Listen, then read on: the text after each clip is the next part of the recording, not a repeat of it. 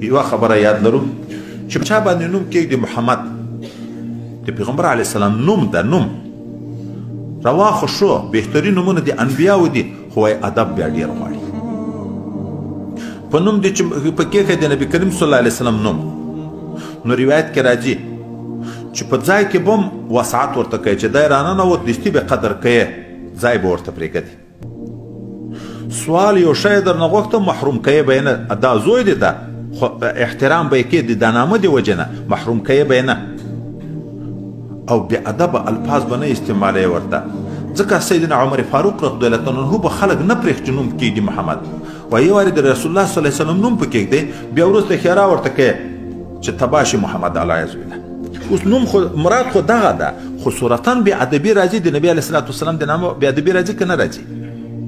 چې نوم په کېږدې بیا به د دغه نامه قدر هم کوې احترام به هم کوې په مجلس کې ویې به هم نه